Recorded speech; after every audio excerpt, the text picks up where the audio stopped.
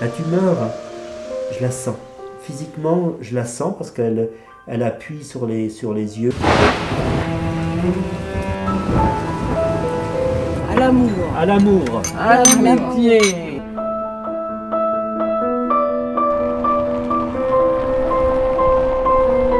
De toute façon, je vais me laisser porter vers ce qui doit arriver, ce qui arrivera à chacun. hein.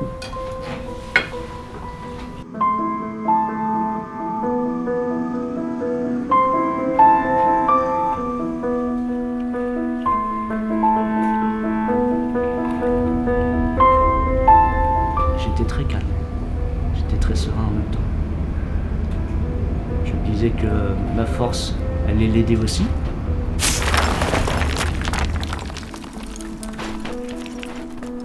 Le documentaire, c'est comme un condensé de ce que, tout ce que j'aurais voulu écrire.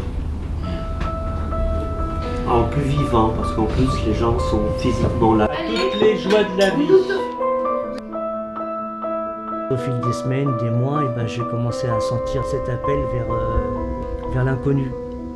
C'est cela ce que voulait dire Raymond, n'aie pas peur de l'inconnu.